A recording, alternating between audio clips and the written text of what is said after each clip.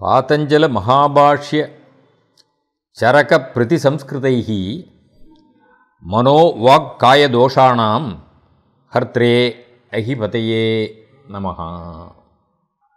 அப்படின்னு முதல்ல பதஞ்சலியை வந்து நம்ம வேண்டிக்கிறோம். ஏக்கு திடீர்னு இப்போது நம்ம கலி விடம்பரம் பார்த்தோம் சபாரஞ்சனங்கள்லாம் பார்த்தோம். இப்போது பதஞ்சலியை பற்றி நமஸ்காரம் பண்ணுறதுக்கான காரணம் என்ன தெரியுமா? அப்படின்னா நான் ஆக்சுவலாக என்ன பண்ணலாம் அப்படின்னு நினச்சேன் அப்படின்னா யோக சாஸ்திரத்தை பற்றி சொல்லலாம் அப்படின்னு நினச்சேன். ஆனால் யோக சாஸ்திரத்தை பற்றி சொல்கிற போது எல்லாம் ரொம்ப போட்டு மண்டே போட்டு உடச்சிக்க முடியாது இருக்கும். எம நியமங்கள்லாம் பற்றி பேசுகிற பொழுது கொஞ்சம் நம்மளால் முடியுமா அப்படிங்கிற மாதிரிலாம் ஒரு பயம் வரும். அதனால் வேறு மாதிரி நம்ம ஏதாவது ஒரு சப்ஜெக்ட் சொல்லலாம் அப்படின்னு யோசனை பண்ணின போது வைத்திய சாஸ்திரத்தை பற்றி அதாவது ஆயுர்வேதம் அப்படிங்கிறத பற்றி நம்ம கேள்விப்பட்டிருக்கோம். அந்த இப்போ ஏ இருக்கிற ஏகப்பட்ட மருத்துவ முறைகளில் இந்த ஆயுர்வேதத்தை கொஞ்சம் கொஞ்சமாக மறந்து போய் இப்போ மறுபடியும் கொஞ்சம் வந்துன்னு இருக்கு இந்த ஆயுர்வேதத்தினுடைய தொன்மையை பற்றியும் இந்த ஆயுர்வேதத்தை சொல்ல பழைய காலத்து டாக்டர்கள் ஆச்சாரியர்கள் ரிஷிகள் அவர்களை பற்றியும் கொஞ்சம் தெரிஞ்சுன்னுட்டு அவர்கள்லாம் என்ன பண்ணாங்க அப்படிங்கிறத பற்றி தெரிஞ்சுன்ட்டு அதுக்கப்புறம் அவர்கள் உபதேசித்த பிரகாரம் நம்ம எப்படி நம்மளுடைய வாழ்க்கையை நடத்தணும்? அப்படி நடத்தினா என்னென்னலாம் நமக்கு பலன் கிடைக்குங்கிறத சொல்லலாம் அப்படின்னு நினச்சேன். அதாவது பொதுவாக சொல்லுவோம் அரிது அரிது மானிடராய் பிறத்தல் அரிது. அதுலேயும் மற்ற டிஃபெக்ட்ஸ்லாம் இல்லாமல் பிறக்கிறதுங்கிறது ரொம்ப அரிது. அப்படிங்கிற போது நமக்கு கிடைச்ச இந்த உடம்பை சரீரத்தை எப்படி ஓரளவுக்கு பாதுகாத்துக்கணும்? அதுக்கான வழிமுறைகள் என்ன? அப்படி ஏதாவது குறைகள் குற்றங்கள் இல்லைன்னா ஏதாவது ப்ராப்ளங்கள் வந்துடுத்துன்னு சொன்னால் உடம்புக்கு அதை எப்படி நிவர்த்தி பண்ணிக்கிறது? அப்படிங்கிறத பற்றி சாஸ்திரங்கள்லாம் சொல்லியிருக்கான்னா ஆமாம் வைத்திய சாஸ்திரம் இருக்கே. ஆதி காலத்துலேருந்தே வேத காலத்துலேருந்தே வைத்திய சாஸ்திரம் உண்டு. அதனால் இந்த வைத்திய சாஸ்திரத்தில் யார் யாரெல்லாம் ஆரம்பத்துலேருந்தே இந்த வைத்தியத்தை நமக்கு சொல்லிக் கொடுத்தா அதனால் நம்ம என்னென்ன பலனை அடைஞ்சோம் அப்படிங்கிறத பற்றி கொஞ்சம் சொல்லலாம் அப்படிங்கிறபோது இன்னும் மற்ற விஷயங்கள்லாம் போக போய் இந்த விஷயங்கள்லாம் பற்றி பேசின்னு போகிறபோது நிறைய விஷயங்கள் சொல்லலாம்னு நினைக்கிறேன். ஏன்னா முதல்ல முன்னுரையிலேயே ரொம்ப நிறையா சொல்லிகிட்டு இருந்தோம்னா முக்கியமான விஷயங்கள்லாம் பின்னாடி சொல்கிறதெல்லாம் புரியாமல் போகும். அதனால் இப்போது முதல்ல எடுத்துட்ட உடனே முதல்ல ஒரு ஸ்லோகம். இதில் வந்து இப்போ நான் சொல்ல போகிற ஸ்லோகங்கள் எல்லாமே பலவிதமான நூல்கள்லேருந்து எடுத்த ஒரு சுபாஷித்தங்கள் மாதிரி. அதுலேருந்து இருக்கக்கூடிய விஷயங்களை கொஞ்சம் கொஞ்சமாக தெரிஞ்சிருந்தாலே நமக்கு அது தினந்தோறும் கொஞ்சம் கொஞ்சம் கொஞ்சம் கொஞ்சம் இந்த சாஸ்திரத்தை பற்றி தெரிஞ்சிட்டோம்னா நமக்கு ஞானமும் வரும். நம்ம உடலை எப்படி பாதுகாத்துக்கிறது அப்படிங்கிற ஒரு பொறுப்பும் வரும். ஏன்னா நம்ம வந்து உபரிஷத்துக்கெல்லாம் சொல்கிறது என்ன சொல்கிறது அப்படின்னா ஜிஜி விஷய சதம் சமாஹா குர்வன்னேவேக கர்மாணி ஜிஜி விஷயத்து சதம் சதம் சமா அப்படின்னு ஈசாவாசியம் சொல்கிறது இல்லையா? நூறு வயசு வாழ கற்றுக்கணும் அதுவும் காரியங்களை பண்ணிகிட்டே இருக்கணும். அதே மாதிரி எந்த விதமான ப்ராப்ளமும் இல்லாமல் கடைசி வரைக்கும் வாழற வரைக்கும். என்ன மனுஷங்கிறது வாழற போது எத்தனை நாளைக்கு வாழறாங்கிறது தெரியாது. இருந்தாலும் வாழற நாட்களில் நல்லபடியாக வாழணும். எந்த விதமான கஷ்டங்களும் இல்லாமல் வாழறதுக்கு கற்றுக்கணும் அதுக்கான வழிமுறைகள்லாம் சொல்லியிருக்கா. அப்படி சொன்னவாள்லாம் யார்? எப்படிலாம் எந்த காலத்துலேருந்து இந்த வைத்திய முறைகள்லாம் நமக்கு வந்திருக்கு? அப்படிங்கிறதெல்லாம் பற்றி நம்ம பார்க்கலாம். முதல்ல இந்த ஆயுர்வேத சாஸ்திரம்னா என்ன? ஆயுர் வேதம்ங்கிறோம் ஆயுகுன்னு சொன்னாலே நம்மளுடைய வயசு. இந்த வயசு நல்லா வளர்த்துக்கணுங்கிறதுக்கான ஒரு வேதம்ங்கிறது நான் ஒரு நாலெட்ஜ் ஒரு அறிவு கொடுக்குறது அது. ஹிதாஹிதம் சுகம் துக்கம் ஆயுகூத்தஸ்ய ஹிதாஹிதம். மானம் ச தச்ச யத்ரோக்தம். ஆயுர்வேதா சவுச்சியதே ஆயுர்வேதா சவுச்சியதே ஆயுர்வேதம்னு அதுக்கு பேர். என்ன பண்ணுறது அது அப்படின்னா ஹிதா ஹிதம் ஹிதம் அஹிதம். ரெண்டையும் சொல்கிறது ஹிதம்னா என்ன அப்படின்னா நமக்கு எது ஹிதமாக இருக்குன்னு நம்ம சொல்கிறோமே அதுக்கெல்லாம் ஒரு விளக்கம் தேவையில்லைன்னு நினைக்கிறேன். நமக்கு அனுகூலமாக இருக்கிறது. நம்ம வாழ்க்கைக்கு ரொம்ப சௌகரியமாக இருக்கிறதெல்லாம் ஹிதம். அஹிதம்னா அசௌகரியமாக இருக்கிறதெல்லாம் அஹிதம். ஹிதா ஹிதம் அப்புறம் அது சொல்கிறது மாத்திரம் இல்லை. சுகம் துக்கம். சுகம் துக்கம் ரெண்டையும் சொல்லணும் அப்படின்னா என்ன? எது சுகம் அப்படின்னா சுகங்கிறது மனசு தான் அனுபவிக்கிறதுன்னா கூட அது இந்திரியங்கள்லாம் படக்கூடிய கஷ்டங்களை தான் மனசு அனுபவிக்கிறது. அதனால் இந்த இந்திரியங்கள்ங்கிறது ஒரு என்ன பாக்கிய இந்திரியங்கள் இருக்க அதுக்கு வரக்கூடிய கஷ்டங்கள் தான். அதை பற்றி சொல்லுவோம் இதெல்லாம் கஷ்டங்கள் சரீரத்துக்குன்ட்டு சுகம். அதுமாரி சுகம் என்ன அப்படின்னு சொல்லுவோம் சுகம் துக்கம். ஆயுஹு தஸ்ய ஹிதாஹிதம். வாழற போது ஆயுஹு அப்படின்னா வயசு ஆயசுன்னு சொல்கிறோமே ஆயசு. அது அதனுடைய ஹிதம் அஹிதம் அது நம்ம வாழற போது அதுக்கான அதுக்கு அந்த ஆயுசுக்கு ஏற்படக்கூடிய ஹிதமானது அஹிதமான விஷயங்கள். இதெல்லாம் இடைஞ்சல். இதெல்லாம் நம்ம ஸ்மூத்தாக வாழ்க்கையை ஓட்டுறதுக்கு உபயோகப்படும் அப்படிங்கிறதெல்லாம் சொல்கிறதோடு இல்லாமல் மானம் ச வயசு எத்தனை வா நாளைக்கு வாழணும் நம்ம அப்படின்னு திரும்ப பண்ணோம்னா விதின்னு ஒன்று இருக்குது அது வேறு விஷயம். அதாவது பிறந்தவன் இப்போதும் அழிய போகிறாங்கிறத பற்றிலாம் நிறையா பேசியிருக்கோம். ஆனால் மானம் சே ஒரு அவனுடைய வயசு எவ்வளோ தூரம் தூரம் வரும்?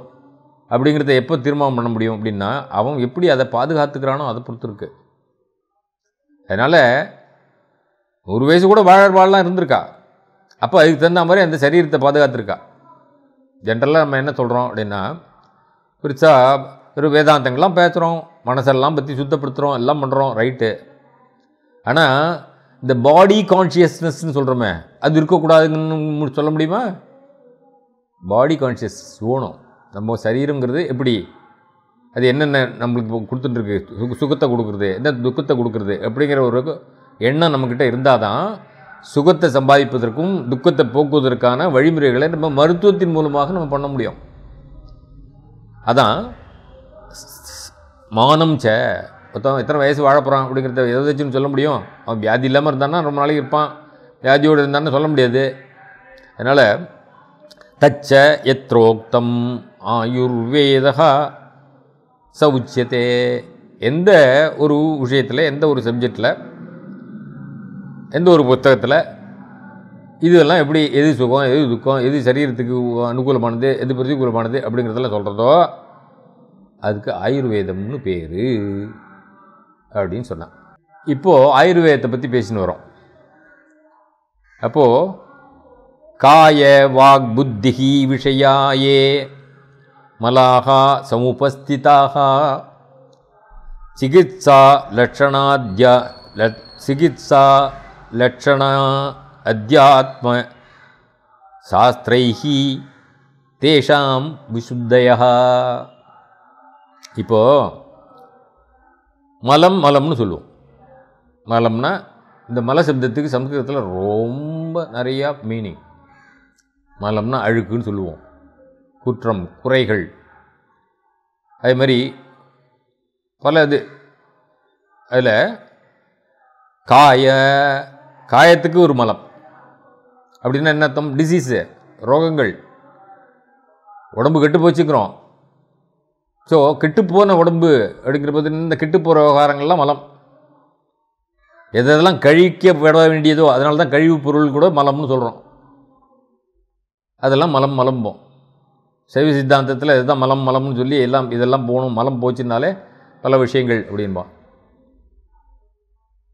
ஆயினால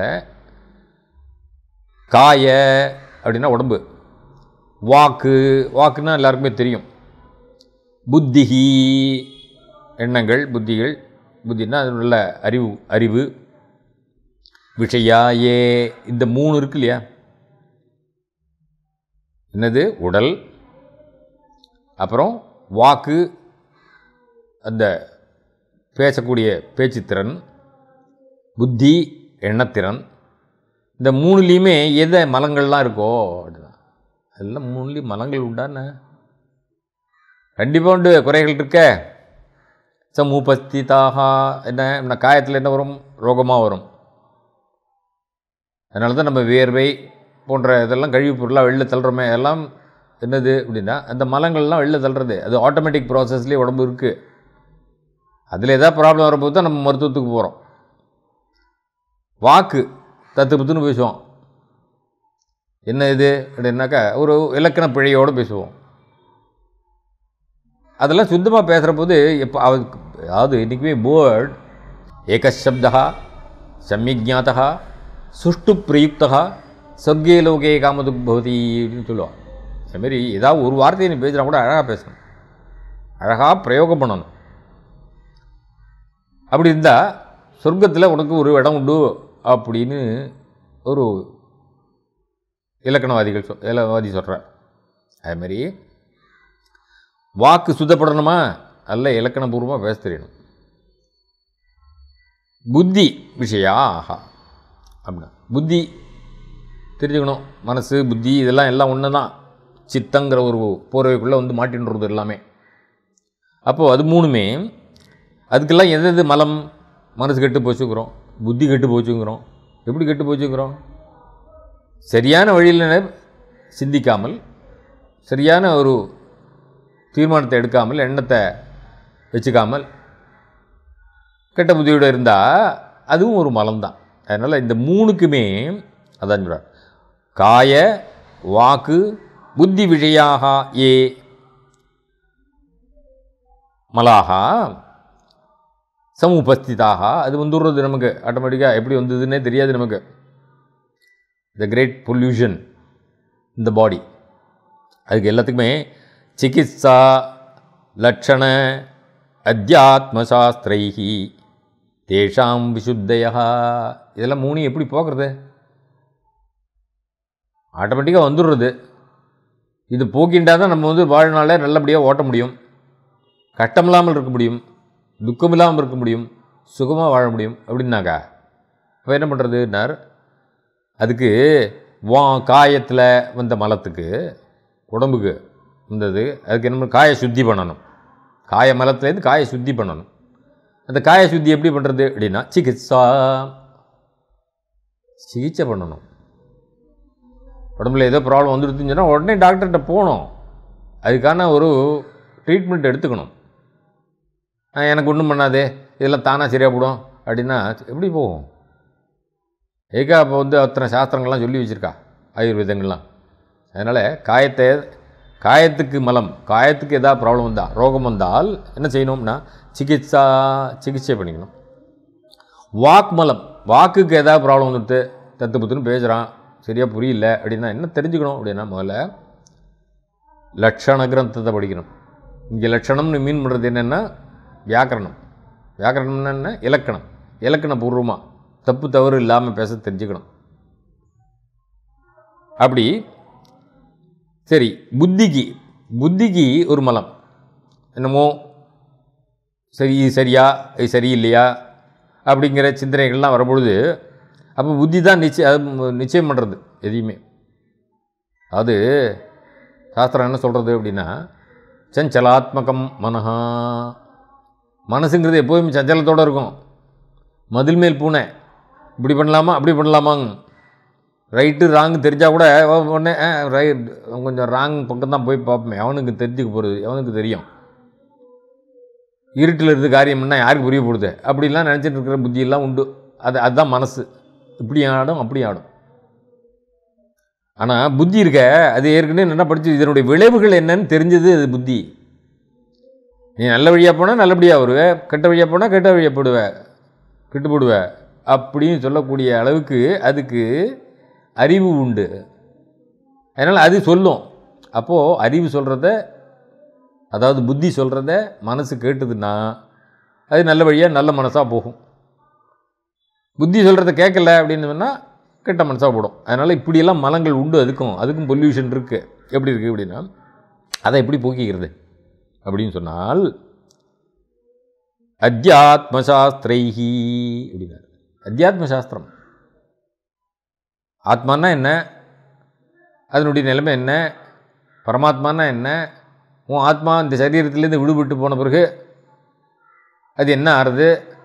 உன்னுடைய ஆத்மாவை சுத்தமாக வச்சுருந்தேன்னாக்கா அந்த சுத்தமான ஆத்மா பரமாத்மாவை எப்படி அடையும்? அப்படி அடைஞ்சால் என்ன பலன்? அப்படிங்கிறதெல்லாம் பற்றி வேதாந்த சாஸ்திரங்கள்லாம் ரொம்ப விவரமாக பேசுகிறது அதனால் அப்போது அத்தியாத்ம விஷயங்கிறது என்ன? வேதாந்த சாஸ்திரங்கள்லாம் நல்லா வாசிக்கணும். அத்தியாத்ம விஷயா அதான் காய வாக் புத்தி விஷயா ஏ மலாக சமுபஸ்திதாக சிகிச்சா லட்சணாத்யாத் சிகிச்சா லட்சண அத்தியாத்மசாஸ்திரைஹி. தேஷாம் விசுத்தய. அப்படின்னா அதனுடைய விசுத்தி சுத்தம் எப்போ வரும்னா இந்த மூணு சாஸ்திரங்களையும் படிக்கணும். அப்படின்னு தெரிஞ்சுக்கணும் முதல்ல.